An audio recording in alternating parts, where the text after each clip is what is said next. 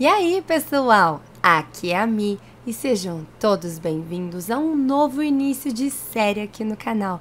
Eu estava tão ansiosa pela chegada desse dia porque eu amo participar de novos desafios.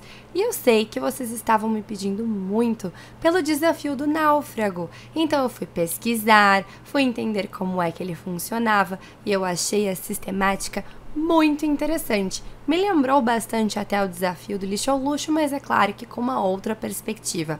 Eu conheci esse desafio lá no canal do Jimmy Sauro, que é um amigo e um parceiro da gente. O canal dele é maravilhoso. Eu vou deixar o link aqui na descrição do vídeo. Passem por lá, assistam os vídeos dele, aos desafios, aos gameplays. Deixem like, se inscrevam e também coloquem a hashtag do Vim pela mim. Como vai funcionar o desafio do náufrago? Vocês sabem que eu adoro ler, né, gente? Então, eu decidi dar uma adaptada nesse desafio e me basear em um dos meus livros favoritos, que se chama Na Ilha. E que história que ele conta? Ele conta a história do TJ e da Ana. O TJ era um menininho que tinha recém se curado de um câncer, uma leucemia, que o deixou muito desestabilizado.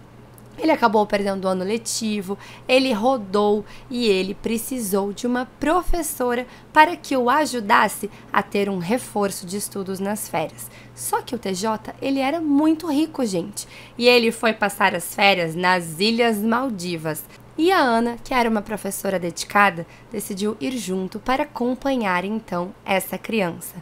E não é que eles sofrem um acidente terrível. O piloto morre no meio da viagem, gente, e eles acabam indo parar numa ilha.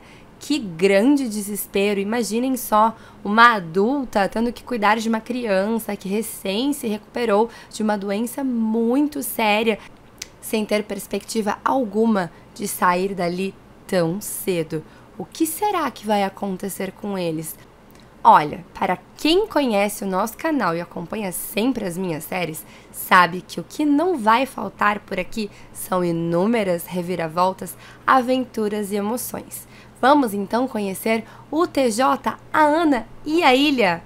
Mas, gente, não sei antes vocês deixarem uma explosão de likes nesse vídeo, compartilharem, se inscreverem aqui no nosso canal caso não estejam inscritos, ativarem as notificações de vídeo clicando no sininho e nos seguirem em todas as redes sociais. Os links estão aqui na descrição em breve junto com a playlist. Olhem só, gente. Este é o TJ e esta é a Ana. Eles estão completamente tristes porque eles acabaram de chegar neste lugar, uma ilha completamente deserta. Eu achei sensacional este download que eu fiz. É claro que vocês sabem que é difícil, né? Isolar os sims totalmente assim do mundo externo. Então, obviamente, isso aqui é um lote dentro do mapa de Newcrest. Aqui nós temos então uma piscina que simula o mar, mas foi muito bem feita. E aqui nós temos a ilha. Como vai funcionar? Vocês podem ver que eles dispõem de uma fogueira, que é onde eles vão fazer a sua comida, de cadeirinhas para sentar e conversar, uma única barraca. Nós também temos aqui mesa de carpintaria, um local para pesca, uma caixa de correio totalmente despropositada. Temos cogumelos e temos maçãs. Aqui nós temos então uma pia para eles lavarem as mãos. Isso daqui é um arbusto de manjericão e aqui nós temos uma parte da selva. E esse desafio, ele é muito legal e ele é muito difícil e vocês vão entender o porquê agora. Eu vou ler aqui rapidamente as regrinhas para vocês, mas eu vou deixar o link também na descrição, para caso vocês não conheçam ou queiram fazer esse desafio em casa. Olhem só, nós podemos criar um ou dois sims para viverem nessa ilha, eles nunca podem deixar a ilha deserta e eles precisam pagar as contas pelo celular. Eles podem ter o máximo de simulhões que quiserem, porque isso aí não importa pra gente. Nós precisamos então colocar eles na ilha e começar aumentando as habilidades de jardinagem, de mecânica na mesa de carpintaria e na pesca, porque eles precisam se alimentar exclusivamente do que eles colherem e do que eles pescarem. Então é muito importante que a gente consiga, né, estender, ampliar o nosso jardim, encontrar mais flores, mais frutas e tudo mais que for necessário para a nossa subsistência. Para o banheiro, nós podemos ter banheiro vaso sanitário. Entretanto, apenas construindo na nossa mesa de carpintaria, o que significa ter bastante habilidade né, em mecânica. Nós também temos alguns prêmios, que são esses prêmios que vocês viram aqui, que eu achei essa ideia simplesmente genial. Quando nós atingirmos o nível 5 nas habilidades de jardinagem, mecânica e pesca, nós vamos ganhar este baú aqui, gente, que eu não tenho a mínima ideia do que é que tem dentro. A esteira de yoga, ela nos é dada dois dias depois. A ducha, quando a gente atingir o nível 5 na habilidade de bem-estar. O espelho, dois dias depois da gente conseguir a ducha. A cama, quando a gente atingir o nível 3 na habilidade de carisma. E assim vocês vão vendo como uma coisa é atrelada à outra, o que eu achei fantástico. Depois nós temos o cavalete de pintura, que recebemos três dias depois. O bar, depois que atingirmos o nível 5 na habilidade de pintura. O saco de areia, quando atingirmos o nível 5 na habilidade de mixologia.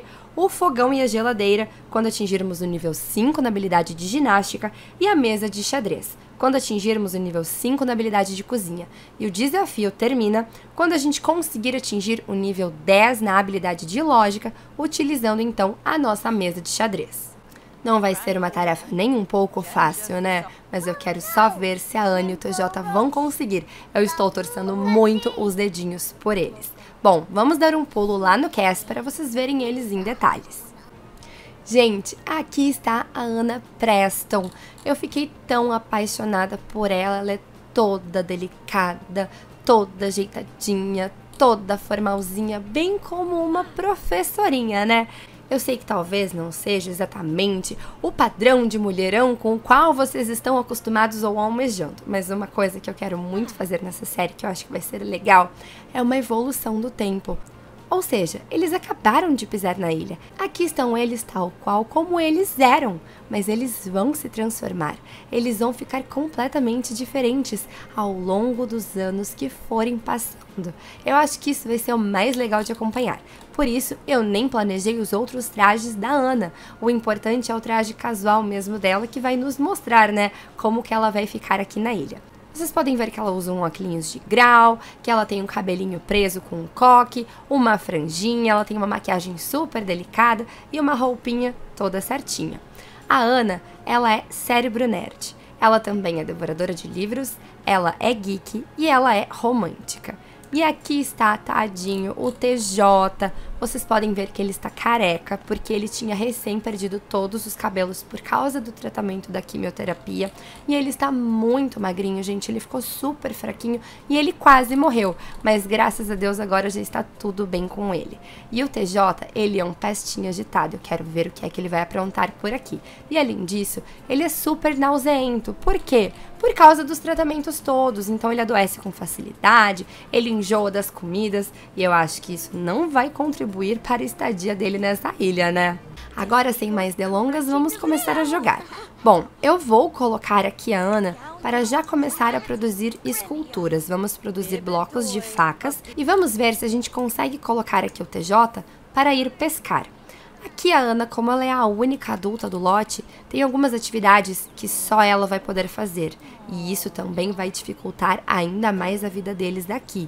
O TJ ele não pode, por exemplo, ajudar na jardinagem, gente. Então tudo vai ficar nas costas da Ana. Ela vai ter que sobreviver e ainda vai ter que ajudar a criar uma criança.